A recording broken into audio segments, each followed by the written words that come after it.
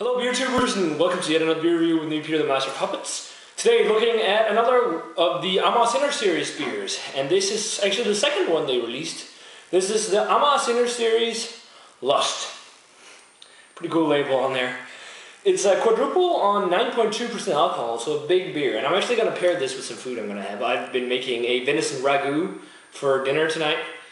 And uh, it's actually made with beer, but it's made with uh, another quadruple, so that doesn't matter. Uh, but I thought I'd pair this with it, just a cheaper one from the store. And it says here on the back, this strong Belgian ale is so rich, sweet, and so luscious that we wouldn't hesitate calling it pure lust in a bottle. During the making of this beer, the general mood in the brewhouse turned somewhat sensual, if not downright erotic, and everybody involved in the brewing spontaneously engaged in heavy cheek kissing. if it wasn't for the unexpected, unexpected ring of the doorbell, things could have gone even further. This beer is so lustful that we cannot vouch for the consequences if you serve this to your loved one over the can, uh, candlelight dinner. This may very well result in a lifelong payment of child support. Uh, we have brewed a beer with the most sensual of sugars we could find at our local grocery store. We were tempted to spice it up with well-renowned aphrodisiacs like Spanish fly or oysters, but fr- frankly, we didn't see the need for it. Made with Pilsner CaraMunich, Melad, melanoidine, wheat, chocolate malt, demerara sugar, and dark candy syrup, northern brewer, and Saaz hops, and fermented with a well-known Trappist yeast. Should be interesting to see that if it's, I think this is going to be the first Belgian style beer I have from Amager Bryghus. So, yeah, let's check out this quadruple. I'm going to be using my Amager Bryghus glass for it, of course. Um, but uh, yeah, let's get poured. It's like that pretty traditional kind of quadruple color. It's got a like a darker, it almost looks like a really dark copper. I've seen darker quadruples than this, but it's like a nice dark copper color, uh, a little bit of a ruby red. Hazy, not completely uh, cloudy, but there is yeast on the bottom of the bottle. One finger, nice looking off-white head. Let's check out the aroma.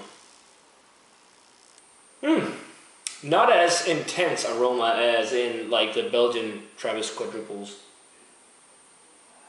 I smell some toffee notes, some chocolate, um, dark caramel, dark fruits, a little bit of that sweet sugary component, a little bit of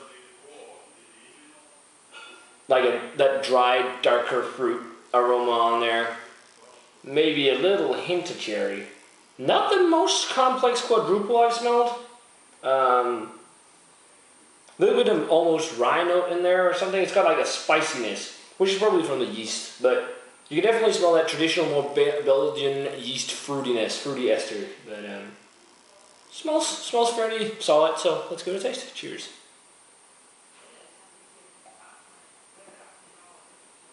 Oh yeah, taste is much better than the aroma. I was kind of underwhelmed by the aroma, but the flavor kind of makes up for it. much sweeter in the flavor and a little more intense. Still not an amazing quadruple. I mean, it's really good, but it's not anything that's blowing my mind. But Bodium is bodium. Body's medium.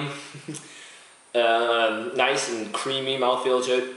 A lot of sugary flavor. Uh, a lot of that dark caramel, dark toffee notes. Really sugary. Uh, definitely also, it's almost like a sugar coated kind of raisiny flavor in there. It's really, it's one of the most sugary um, quadruples I've had. I can see why they call it Lust because it's so sweet. Um, Little bit, again, of that spicy, almost rye flavor, but I think that's from the yeast strain. It's got that spiciness. Uh, definitely also the fruitiness, the darker fruits, uh, the toffee notes, dark caramel. Um, wow, and a lot of like figgy, raisiny flavor on the back end. But pretty decent amount of spice. Sweet malt, a little bit of a chocolatey note in there. But yeah, it's, it's a pretty good quadruple. Not my favorite in the Sinner series. Um, I preferred the Gluttony so far. But this is still really good, and it follows the theme of Lust and being all sweet and that stuff. Uh, a little bit of an almost cherry flavor in there too, but